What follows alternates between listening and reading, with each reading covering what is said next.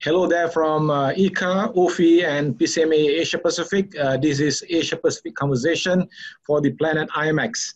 Uh, please welcome uh, joining me today, uh, Karen Bolinger, the Managing Director of Asia Pacific of PCMA, Mark Cochrane, the Regional Director of Asia Pacific of UFI, and I'm Noor, the Regional Director of Asia Pacific of ICCA.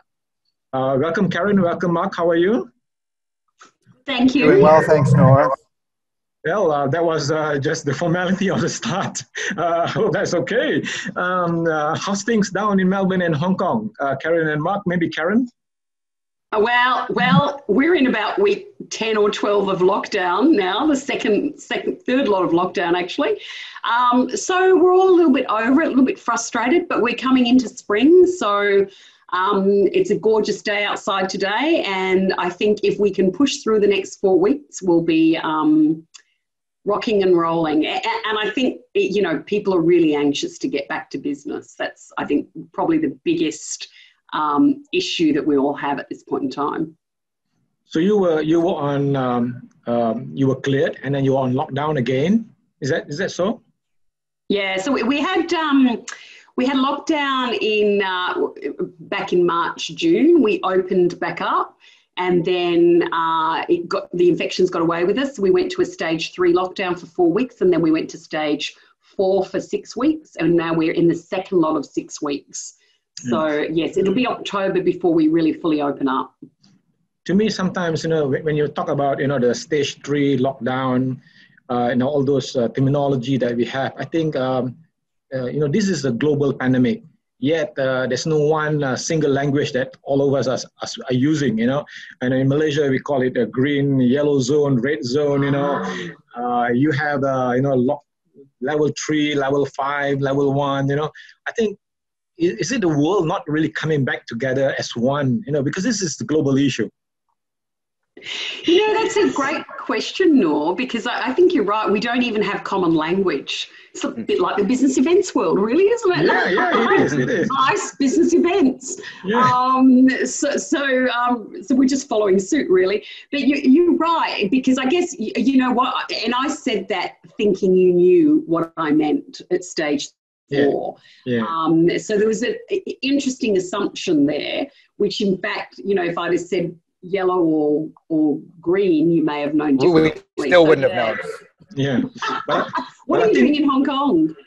So in Hong Kong, yeah, we're coming to the end of uh, what they're calling the second wave. We had restrictions in place for March and April. We had a pretty normal May and June. Uh, a few B2C exhibitions even went ahead in May. Uh, and then we got a second wave uh, it, it's all relative, right? I mean, compared to uh, different countries around the world. But uh, I think we peaked at uh, between 100 and 150 a day in July, but that was sufficient for the government to shut down most things. So uh, restaurants were only takeaway, schools were closed, uh, gyms, swimming pools, that sort of thing. They are starting to ease the restrictions now. So the number of cases is pretty minimal. I think over the last two weeks, we've averaged about 10 a day. And uh, restaurants are allowed to open till 9 p.m. Maximum number of people is uh, four people at a table, but still, still no gatherings or no events allowed. Uh, and yeah, just as Karen said, I think people are pretty anxious to get back to business now, for sure. Great. I think uh, I hope that uh, things in Melbourne gets better soon. So you know you'll be able to get out of home and do more things, uh, business activities and so forth. Uh, but from Kuala Lumpur, where I'm based, uh, things are a bit more positive compared to both of you. we've been reopened for about almost two and a half months now. And wow. the good thing is that with the good health system, and I think one of the things that we've been talking about this in all the webinars is that clear communication.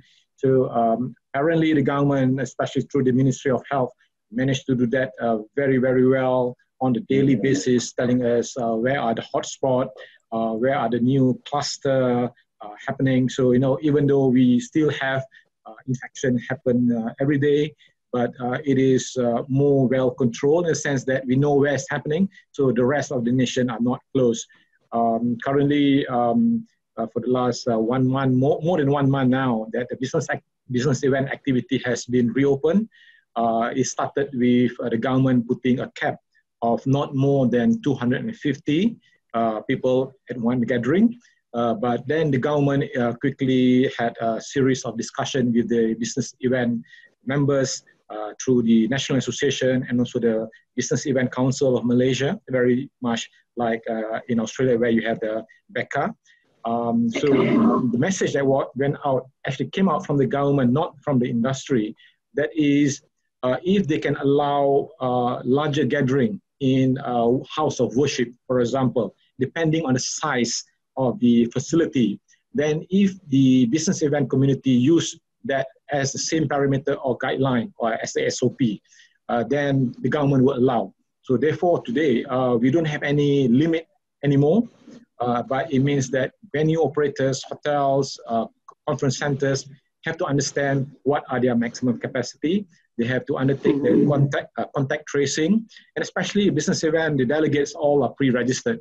So uh, we felt uh, pretty safe uh, going to event, and I have been to almost uh, not almost, already been to three live events in Kuala Lumpur.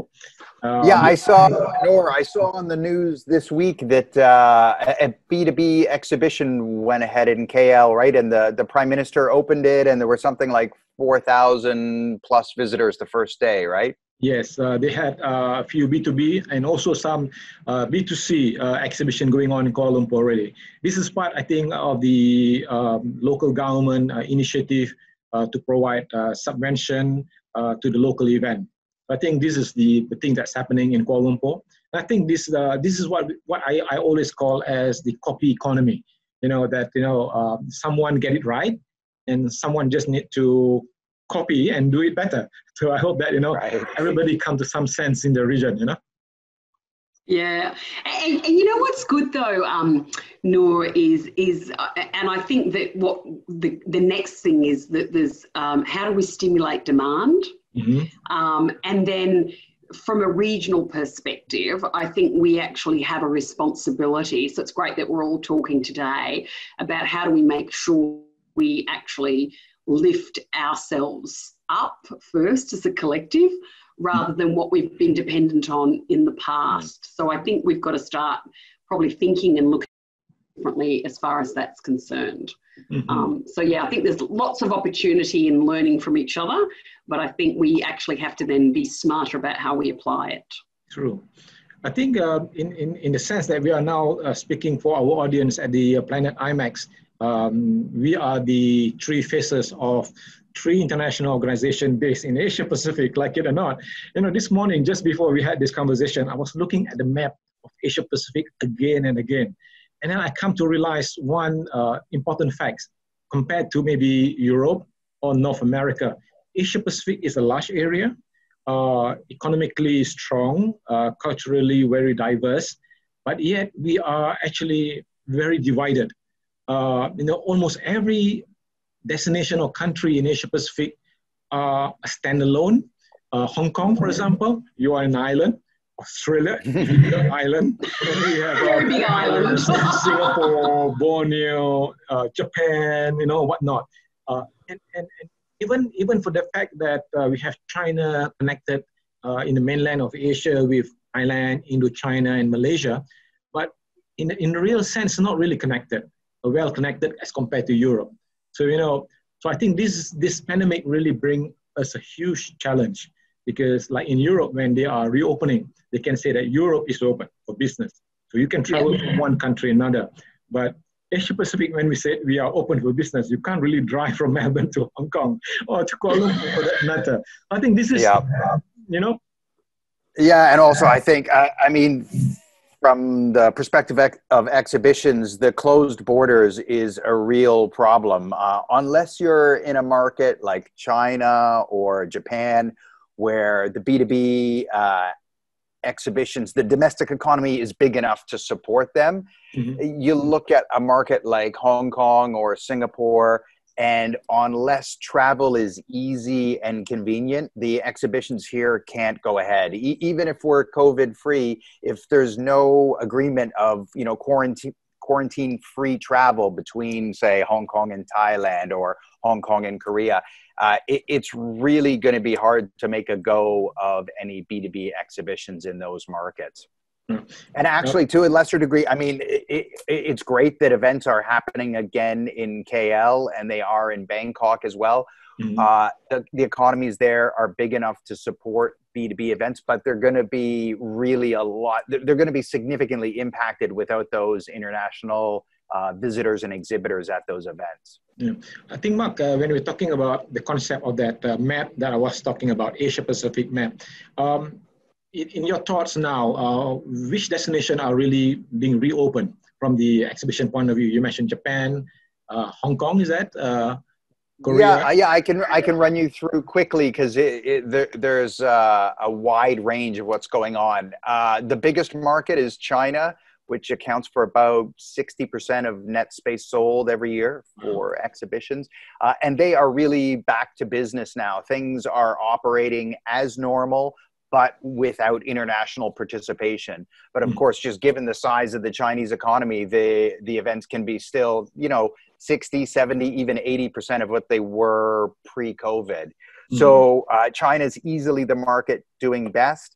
And then there are a few others that are open, but uh, are really severely impacted by the lack of travel. So mm. uh, Malaysia has some events going on, Thailand, uh, Korea, and Japan a little bit, but they, they've had somewhat of a second wave as well. Uh, the other the other factor is you need to have the confidence of the participants. It's okay if the government says you can go ahead with an event, but uh, I know some organizers have found in Korea, even when they pressed ahead with events, actually their uh, exhibitors and visitors said, you know what, no thanks, we'll, we'll wait till 2021. So it, it's a little bit of a balance. Two, I two think those the... are the key. Uh, sorry, I was just going to wrap up. I was just going to. I think those are the key markets that have some B two B exhibition activity, have, or even B two C. Uh, but places like Hong Kong and Singapore, essentially zero. Uh, Singapore is planning to do some pilot projects, I think, next month, but they're going to be heavily restricted and borders are still closed there, essentially. Yeah, I just want to add, I think uh, two more destinations that maybe you, you missed just now is that the two most greenest destination, or you mm. call it level zero now, uh, that is uh, New Zealand and Taiwan, or Chinese Taipei. So I think uh, they have done very well with the COVID-19. Right, yeah. right. So yeah, N- New Zealand going ahead, uh, Taiwan, but as you can imagine, it, it's a heavily export-oriented economy. So you know, all, all of their biggest events, they need uh, that international participation. So yes, th- they've done very well for COVID and deserve recognition for that in Taiwan, but uh, limited, um, meaningful B two B exhibition activity there. So, so Karen, uh, from from the meeting space um, corporate, um, the one that PCMA is tracking, uh, how, how do you perceive the region is moving now? Uh, where are the pockets of areas that's really coming out? Well, I, I, think it's it's not too dissimilar to, to Mark, I guess. And I, and I think, you know, New Zealand's opened up. They had some small cases in Auckland. They had to close back down again. Mm. Um, you know, Australia's a mixed bag. Some of our borders are even closed within our own country, and some are open, and then some have only got parts of them open. So it's a real mishmash. And I think that, um, you know, any country, but particular destinations like, you know, Australia, which has a very large footprint from, you know, a, um, I, I guess, country perspective, but population wise, a very small po- population. So, so, you know, the entire population of Australia is Shanghai's population. So, um, so we don't have the mass, I mean, the two biggest cities, Sydney and Melbourne, 5.5 million in each. So you can't draw on necessarily people to attend events like you would have generally and even participate in them. Uh, but also, you know, the economy actually has some impact in that as well. And I think, you know, we do need to recognise and acknowledge that we can all open up as we like, but if companies aren't travelling or aren't giving their their um, blessings because of the risk and health factors that people are facing, it actually becomes a bigger challenge for us as an industry. So, so, the borders may come down, we may have lovely hygienic venues, but unless we actually have people coming in and utilising those venues, mm-hmm. then we actually still don't have a business as, as such. So, so, I actually think it's going to be a while off before that comes. Um, and I think part of the, the travel restrictions that we have, so we talk about Australia, in, you know, they talk about June next year before we'll actually right. be able to do some true international travel. Um, you can travel domestically, but it's again limited borders. But I think the same things you know, Singapore have the same pain points. Mm. They are predominantly mm. a leisure destination. They don't have a lot of other industries to rely on. So they've been hit in a very big way. Um, and again, you know, their, their um, economy is very different from locals don't necessarily go and stay in hotels for weekends right. like right. they do in others. So, so, again, you know, you've just got layers upon layers of, of of activity going on or challenges, as, as you say. So, so even though destinations are opening up, we know Thailand's open up for business pretty much fully. Um, Korea, as you said, Mark is, Japan is. I think what we have to get back to is whether our customers, whether they're associations or corporates, are going to let their employees attend events and can they afford to be sending the numbers that they actually yeah, I, th- I think that's a, a really good point. Is uh, we often find ourselves so focused on the government restrictions holding us back, and uh, even when once those are removed, you remind me about company restrictions. Some very big companies in the U.S. like uh, Oracle, Facebook. Uh, I'm not sure if it was Amazon, but a number of big tech companies, they essentially said they're not going to allow their employees to travel right. to events of more than 50 people until one of them it was like mid 2021 and another it was the end of 2021 wow. so company restrictions not allowing their employees to travel that's one and budgets is a huge one. Even once we reopen and th- assuming that it was safe to travel a lot of budgets are going to be really constrained. So what are the choices that uh, potential exhibitors and visitors at events are going to make are, are they going to cut participation this year and next year, or are they going to pour more into a face-to-face event? It, it's really an unknown. Yeah, I, I think uh, uh, Karen and Mark, I think you touched on the, the really uh, important point about you know being able to reopen because we are experiencing that in Malaysia at the moment. I'm sure in other other countries in Asia Pacific that has gone through this phase. I think the the next phase of challenges that uh, we are all facing is the confidence level the demand level, and also um, uh, the perception of that uh, the new norm, the new events that you're going to organize, because you would acquire more space for lesser people. Uh, those were the days that you can cram up uh, 200 people in a small room, but now you can't do that anymore. So events are being perceived to be more expensive, uh, especially that not everybody able to come in. And I think the, the, the challenge that, that I'm, I'm, I'm, I'm facing every day in Kuala Lumpur is uh, the involvement of a tech company.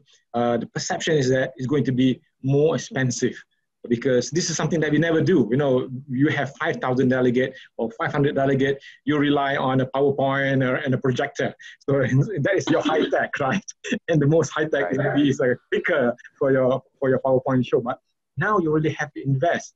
And uh, people are talking about, you know, hologram, uh, virtual experience, uh, and all those um, things that, uh, they're, that, that they, are, they're going through.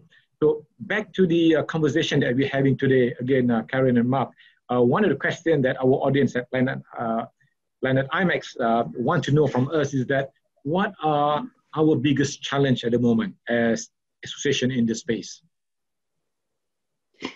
So, so, go ahead.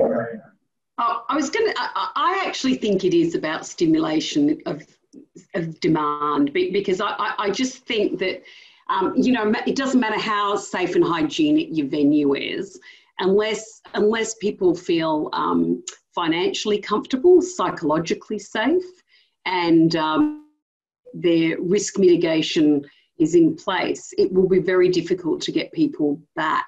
And, and i think what we have to do is come to terms with the fact that we need to utilize technology to our advantage because I think We all know this will never replace face to face.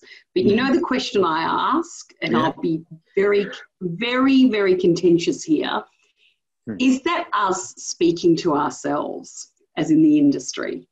Because we love it, because we get to travel, we're in it because we're all about the people. But our customers, so corporates, uh, you know, associations, do they miss it and feel that they miss it as well?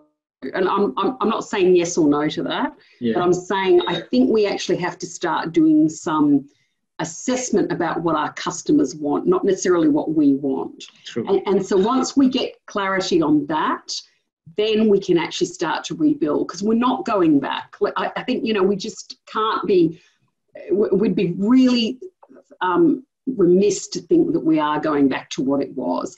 I think what it will be in the future is very different. And I'm not saying it's going away, by the way. What I'm saying is the face to face component will be incredibly different. And I think we actually have to prepare for that. And we have to actually start to acknowledge about how do we bring in technology. How do we bring in, you know, the use of our spaces very differently, and how do we actually engage our audience to grow them um, and retain them so that they actually then become, you know, lifelong advocates, customers, whatever that would actually be. So I think it's a challenge. And I actually think it's a challenge for some of the industry to actually, did I say that? Um, to actually um, to think about. And I think the more you talk to a customer, the more you'll understand that we've actually, it shouldn't be solving for us, we should be solving for them. I, I totally agree with you, Karen. You know, we are, a lot of times we are talking to ourselves. You know, we, we, are, we are so hype out doing things that we think that uh, this is what our clients or the industry need from us. But actually, that is actually something that we've been pushing down to them. I think uh, that is a great perspective. I couldn't agree more with you. I think uh, so. Uh, first, I'll, I'll give you the two challenges that I think I'd put at the top of the list, and then I'll uh, address a couple things Karen said. Uh, so, the, the challenges facing us for exhibitions for UFI's members. First is travel restrictions. We can't if we don't establish travel bubbles, the industry is not going to restart. And the second one goes to what uh, Karen addressed, which is stakeholder confidence. If the participants aren't confident in participate that it's safe uh, and um, cost effective to participate in the events, then we're not going to have events. I I think I'm more optimistic than both of you that it it's not just us, our industry, that we're excited to get back to it. And the reason I say that is because uh, the proof is in the pudding in China. As soon as they eased the restrictions and they said, okay, you can go ahead for this B2B event or this B2C event, the crowds were enormous and the uh, exhibitors returned with very few exceptions. And a lot of international um, exhibitors found ways to send representatives even though they couldn't do their through through branch offices or through partners. So i think the appetite for face to face will still be there on the other side of covid. Some of the ways we operate may be different but i think that uh, that need to to go visit a potential supplier to hold uh, a product that you're going to place an order for. I don't think that's going away. Uh, well, I, I, I, couldn't agree more with you also, Mark, because I think um, even for from the association space that uh, ICCA, we, are, we, we have quite a big number of our members. Uh, in fact, the biggest chapter in the in the global ICCA global membership is Asia Pacific. Uh, we have just touched uh, the 300 mark. Uh, and very much like UFI, our biggest membership in the world is China. So um, that is good, but at times uh, scary as well because you know you have one everything in the one basket. Uh, I would say that the biggest challenge is uh, you know the membership. Uh, people not able to, to travel. We we can't uh, meet face to face. But when I think more about this question that um, that IMEX have put put on us, I think the biggest challenge in uh, the association space is more of the business model that we have. Um, when I say that, uh, it, it, just opened the Pandora box, you know, in the sense that, um, you know, we, 90% of our membership deliverables are face-to-face. You know, um, almost 99% of our activities are based face-to-face. You know, it's almost like if you can't meet, you can't do business. So, you know, uh, we are over dependent on that business model. Um, and, and of course, the, the end product of the um, association meeting is basically events uh, where destinations, uh, venues, suppliers are very much dependent on uh, events coming to their, their destination. And that's not going to happen. That's not going to happen for the next six months, one year, or more. We don't know. So I think the, the, the biggest challenge is really the business model. Uh, we, uh, you know, I'm, I'm just looking at um, during the uh, lockdown that we had in Kuala Lumpur. You know, I was at home uh, with the family. Uh, we can't even get out. Um, and then uh, after a few weeks, the government said you can drive as far as not more than five kilometer only to buy the necessity. And I'm sure that, you know, Karen, you're going through this phase now, you know, yes. you are afraid because, you know, you don't know what is out there. You know, you know the, the virus is somewhere there. You know, you might just go out and get it and you die. So that's the feeling that we have.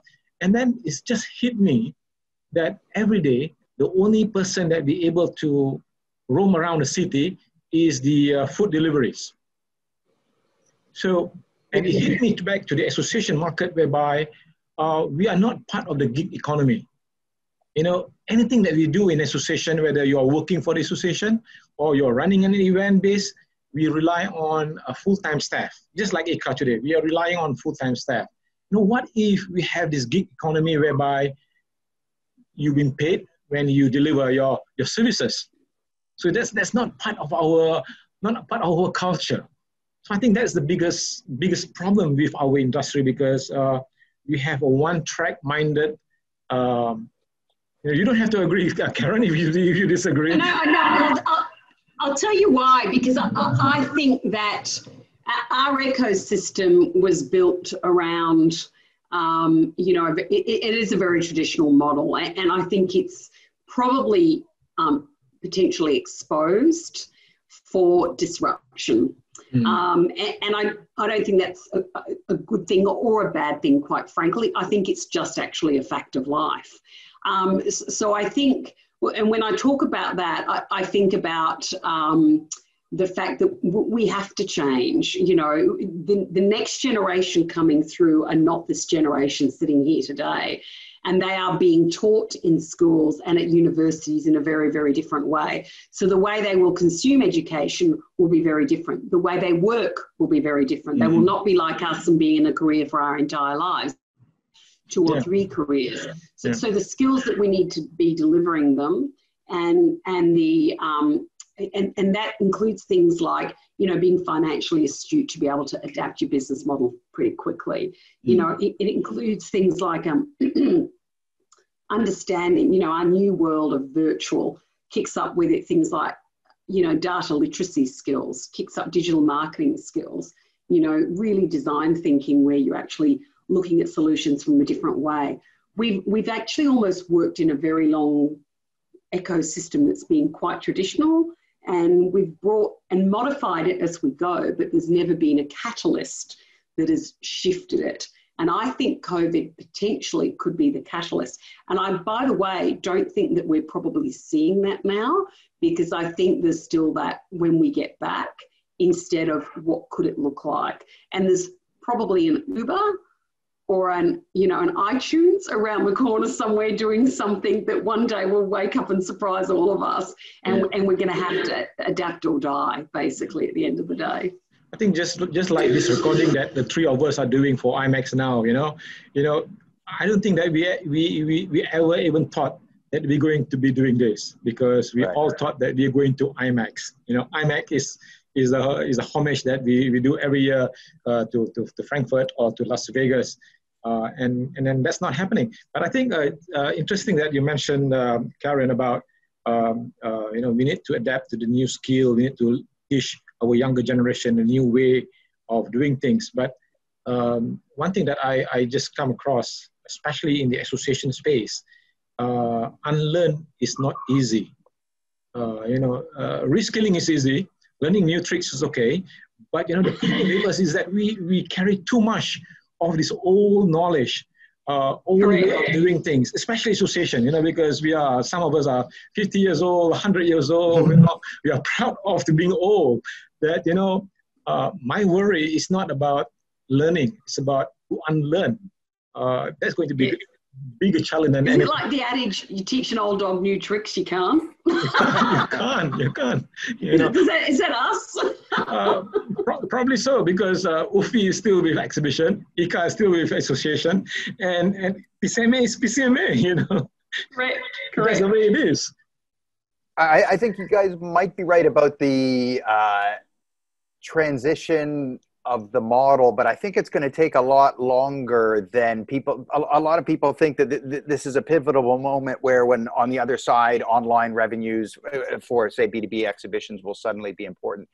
I, I don't see that because it, any exhibition organizer, in order to generate online revenues, they're going to have to do it better than Alibaba or True. better than Google. That is that's a pretty tall order. So I'm I'm not sure that transitioning to something where there's a significant um, I'm talking about for exhibitions here where there's a, sig- a significant amount of online revenues that's going to replace or undermine or complement face to face.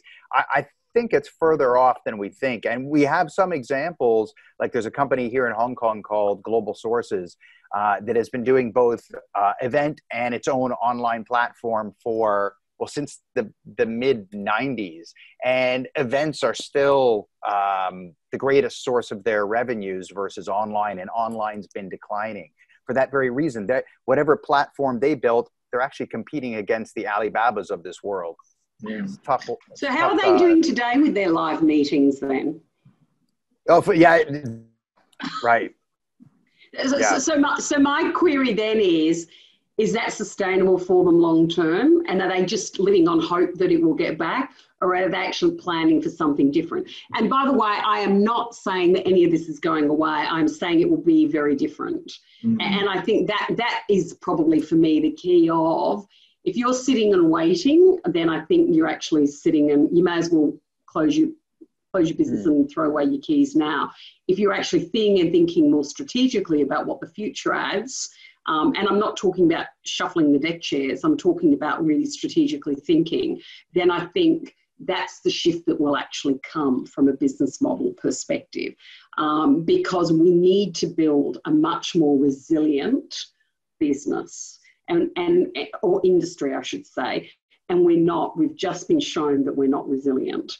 Um, there are some that have moved, been able to move quickly, um, but there are some that just haven't. And, and by the way, it's not a criticism, but it's Mm. actually, I think, just opportunity to really think about what a really good future could be.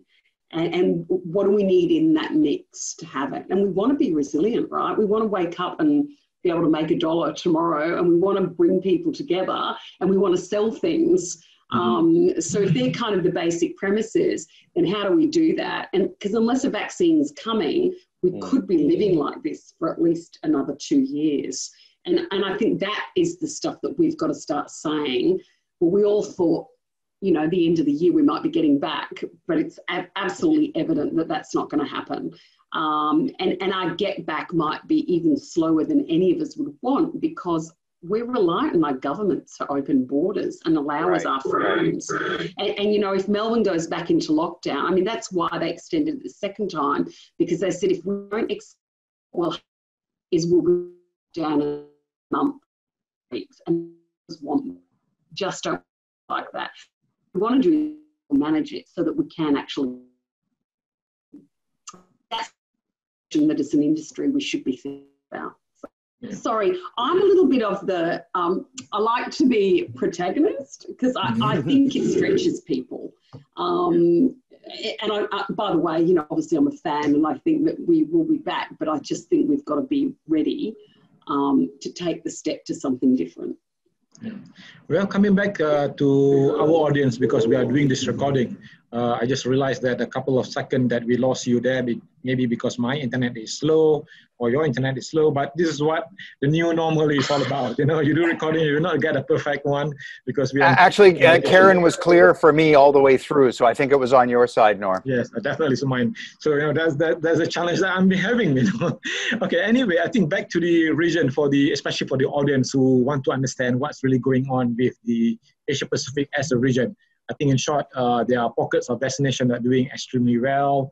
There are some are catching up, and there are still some other countries who are still uh, not out yet of the pandemic. You know, if, if, if, if all of you follow the news, uh, destination like India, uh, Indonesia, even Sri Lanka for that matter, Philippines, uh, they are still trying to do their best because, you know, the, the huge population, uh, the economic profile of this destination, I think uh, pose a huge threat and also a challenge for them to come out of, the, of this situation. So we just hope that all of them, uh, all of our friends in the industry in these areas uh, stay strong and stay safe and come back. Uh, the second question that, um, that we have from uh, IMEX team is that um, what has COVID taught us about our business, our industry, and um, our regional ecosystem? Uh, anyone want to comment on that? Or is it a very difficult question in the first place? big question. Uh, a big question. Uh, yeah, that's a, that's a pretty big question. Uh, it, it's taught us that we're a lot more vulnerable than we ever thought. Uh, mm-hmm. I, I, think. Uh, there's some good things uh, that have come out of it. I mean, I've seen the the exhibition, the UFI community come together faster than yeah. I ever would have thought possible. Uh, you know, obviously out of necessity, but all of us are in the position where we're trying to advocate for government support, uh, for governments to allow events to go ahead, to differentiate between, say, a mass gathering like a festival or a concert and an exhibition, which is very different. So, the, it, in some ways, not resilient, but uh, a tighter community than I think anyone ever thought we had. And we've uh, had some achievements uh, in the UFI community of convincing governments of just those points that I was uh, underlining. Well, uh, if I can, if, if, I can just add very quickly, I think um, the challenge, uh, what COVID taught us is really that um, as an industry, we are not well prepared. Uh, we, don't, we didn't even see this thing coming. You know, we, we live in a perfect and ideal world that, you know, pandemic such as this will never happen in our lifetime. But come 2020, you know, uh, this, is the reality. And I think um, uh, it become uh, an issue of what, what I call uh, trial and error. Uh, now, you know, uh, for, for event organizers, you know, everybody suddenly become an online event expert organizers. Right. So, jokingly, I was, I was telling some of our members who are professional com- conference organizers, you say, you know, now you don't, you don't call yourself PCO anymore. You call yourself DCO, uh, digital DCO, digital congress organizer, because you're doing.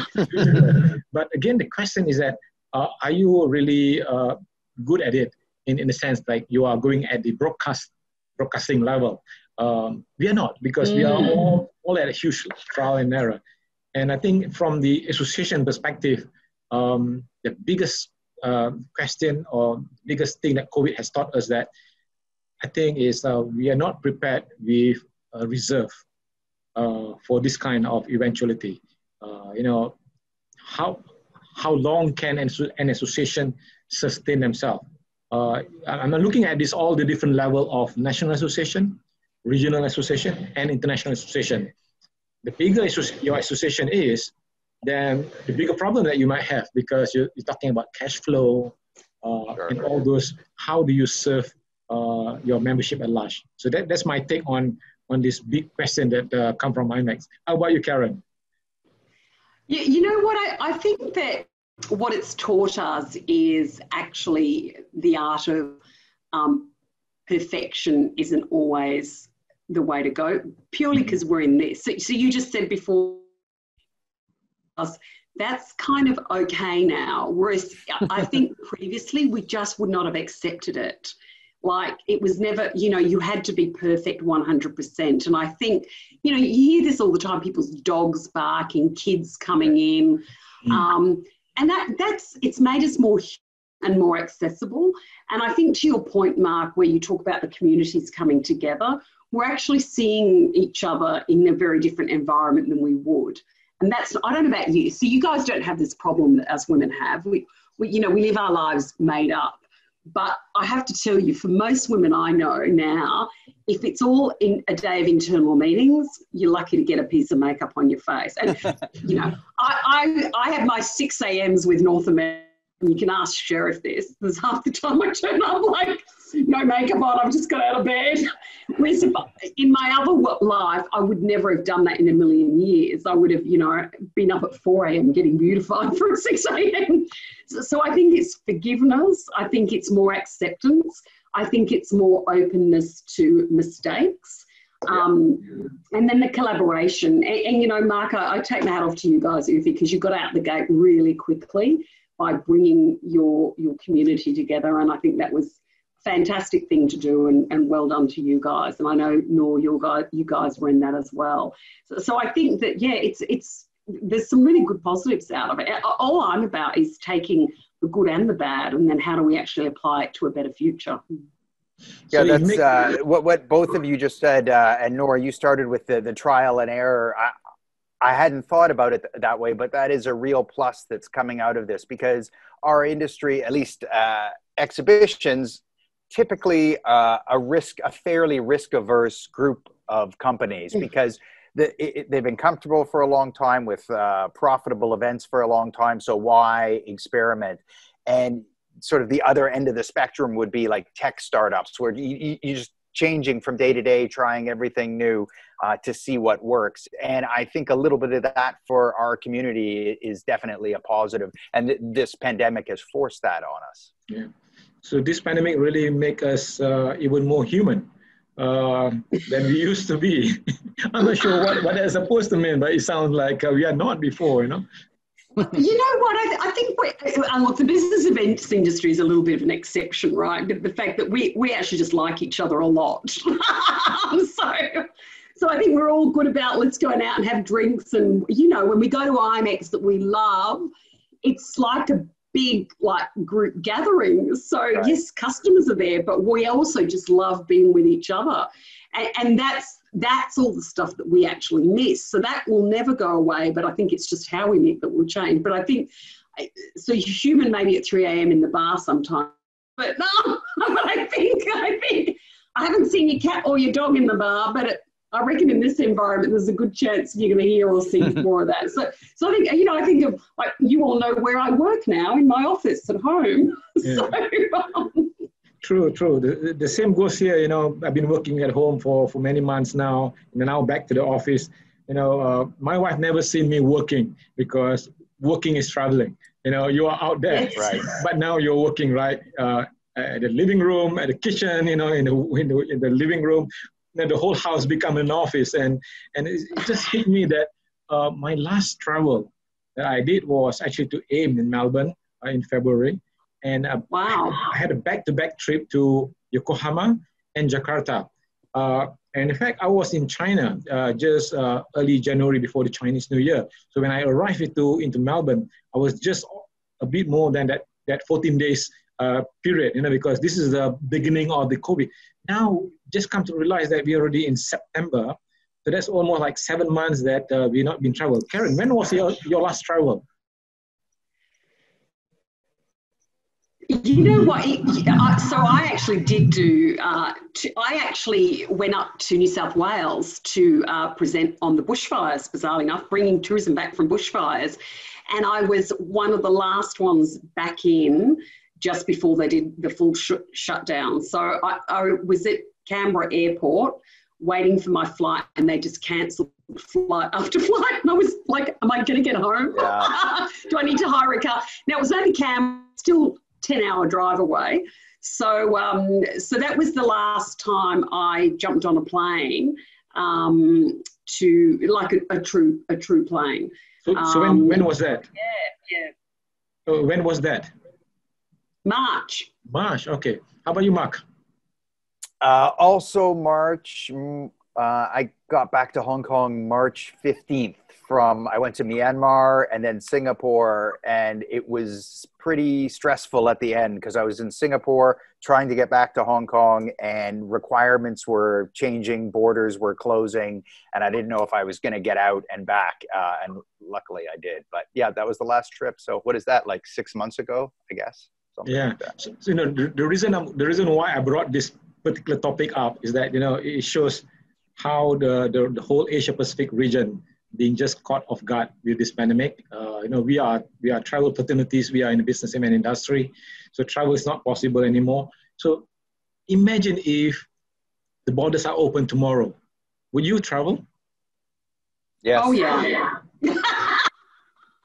I'm, I'm having a second thought, you know. That's our industry. Uh, I uh, as soon as Hong Kong opens with anywhere, I'll go there. wow, wow, that, that's very positive. Would you not? But we- no, you wouldn't go. Uh, um, I've, I've traveled the, the furthest is uh, another state within Malaysia last month. And um, uh, I've been invited to travel within country flight to, to Sarawak, Borneo. And uh, suddenly you just have some hesitation because, uh, you know, I'm just not sure about going to airport. You know, the, you know, Yeah. it's not just about, you know, the, the, the danger in flying, but, you know, this pandemic is just uh, something that, you know, out of the mind. But anyway, I just Yeah, thought yeah, that- that- That, that is not what I'm feeling. I, I am waiting for the green light. Uh, when, when they let me get on a ferry and go to Macau an hour away, I'm going to do that. So I, I just want to go beyond five kilometres. okay. like, I was like trying to find a place to take my dog to get her washed, and I was like, oh, it's outside my five kilometres.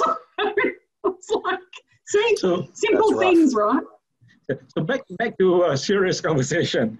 Um, UFI, ICCA, PCMA, um, we are here to serve our members, right? Uh, and, and, and the last uh, nine months, it has changed how we behave as an association. You know, uh, I think, um, I'm not sure about all of you, but uh, for ICCA, I would say that, you know, a huge percentage of our uh, membership delivery uh, will not mean a lot to the members anymore because for example like you know data data is good but you know there are no new rfp so members will not be able to go out there and bid uh, and some associations they are they're already uh, uh, forthcoming in the sense that they are opening their bid but they are very clear that you know i'm going to organize a conference in uh, february next year but it's going to be a hybrid event so that's very clear but there's still a lot of uh, associations who, who are our client are still hoping that you know we'll be able to travel, we'll be able to have the the, the, the face-to-face uh, meeting again. So um, what would you say in terms of how are we adapting to the situation in uh, benefit offering to our, mem- our members? So for uh, for UFI, we've had to adapt, and thank you for the compliment, Karen. Yeah, I, I think prior to COVID, if you ask UFI members where they the most benefit, it's consistently been networking, me- meeting other members face to face, and getting value from. Obviously, that's mostly gone, at least the face to face part of it.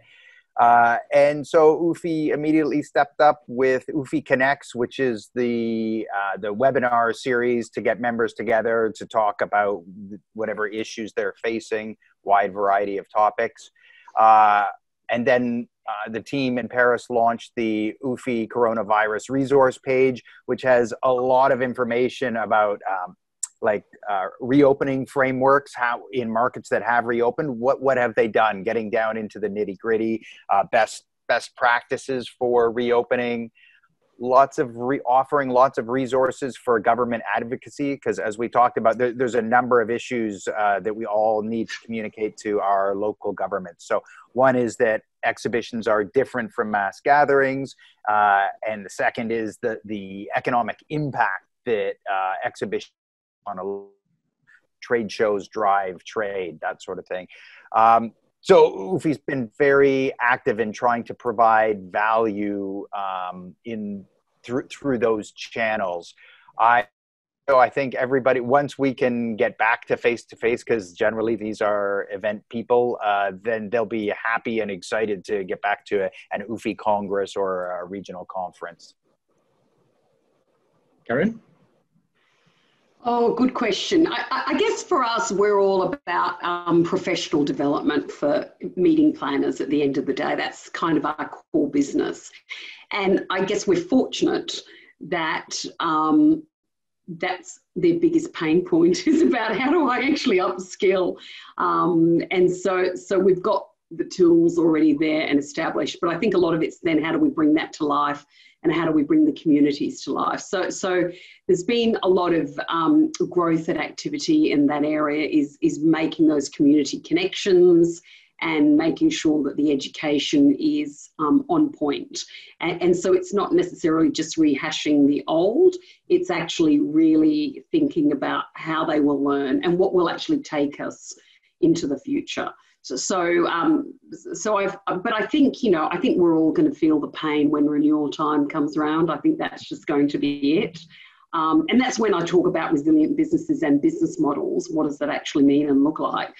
so I think that um, we've just got to be prepared for that mm-hmm. and and think about um, you know what our audience needs and how do we keep them engaged and um, and I also think we have to be um, you know cognizant of the fact that some are hurting, some people aren't in work. Yeah. Um, so how do we actually make sure that we're a real partner by their side, getting getting them through, so, so we're not just a short term partner. And I think that's one of the beauties of our industry is that we we are so well connected and we're so supportive of each other that I think that um, we when they truly say we're in it together, we've got to really think about how do we actually bring everybody along on the same journey. Yeah, I think very similar to what uh, Mark from UFI has mentioned, also Karen, PCMA. I think uh, we at ICCA, we, we strive uh, even harder uh, to deliver new services, uh, new products. Uh, we've been engaging with our community, especially in Asia Pacific. We had a series of conversation, you know, because the face of this pandemic change almost every day, every month. So we need to understand what's really going on. we have produced very similar to UFI, you know, some guidelines, some some touch point, how they can uh, change their strategy, their concept, uh, how they can rebound. Uh, I think that all being done uh, in the in the earlier phase and also until uh, last few months. But now uh, we are moving towards uh, towards the, the, the, third and the fourth quarter of the year. Um, we are very confident about our ICCA Congress, which will be held uh, this November in Kaohsiung. So you know we understand that the possibility of international members might not be able to go to Chinese Taipei or Kaohsiung, but we have already created a regional hub concept whereby we have uh, selected few destinations in Europe, uh, Africa, Middle East, in Asia Pacific, and also North America to join uh, the, the, global members. But I think the, the, the, the big takeaway that we wanted to express is that not only the show must go on, but more importantly, we, we are trying to create a true sense of collaboration between the community, not just the supplier members, but also the association community and also the community out there. Uh, I think a lot of time uh, we miss out uh, on the connection with uh, the local stakeholders, uh, which is very, very important. And I think uh, that really make us all stand to, to, to, to see that is our key weakness. and this pandemic has really brought us to that new light. Um, we are almost close to an hour having this fantastic conversation, Mark and Karen. Maybe um, this is the last question that we have from our friends at IMEX because we are not be able to be there uh, physically uh, unless we can uh, uh smurf and fly in, uh, zoom in, or you know, do whatever you do through the, through the electronic way. Um, the last question that they have is, uh, what is the one message that you want to convey today about our region, the Asia Pacific region, to IMEX and the whole world? Well, for me, it's about we're open for business. yeah, Karen kind of took the words out of my mouth. Yeah, I was going to say the, the, the, the industry the industry is going to return to growth here in Asia first. I think everybody's looking to us to show the way, uh, and that's uh, up to us to show how it's done. Yeah, yeah, no. and I think you know you, you, you talked earlier, Noor. We are the biggest population growth region. So, so you know, we've got people in our backyard. So the travel restrictions will open up slowly by region, as I think we all know, which is why we will be open. Um, and I also think we've got the wherewithal as a, you know, we've all lived and worked and come from this region. So we know what we're like. We work hard. Um, one of the things I am finding is super agile um, not afraid of some change and, and a bit of adversity. And so, you know, we can adapt really well. And so we are open for business, but we're going to make sure that we deliver really well. And we're going to make sure that our people are the best skilled people and that, you know, all the advocacy and lobbying is going on. We're all doing our bit as a community to make sure that we come back bigger and better than ever. Might be different, but bigger and better than ever. And that's, I think, what we've just got to go away with, right? Yeah. I don't think I can improve on that answer.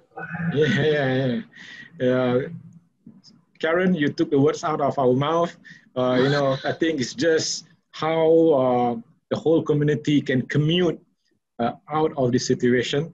Uh, I think we will we'll be there uh, safe and sound. I think it's just a matter of time.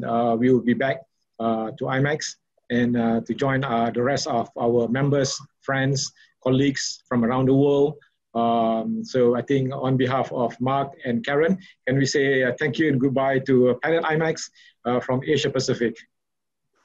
All right. Thanks, Nora. Thanks, Karen. Bye. Karen, thank you, Mark. Cheers.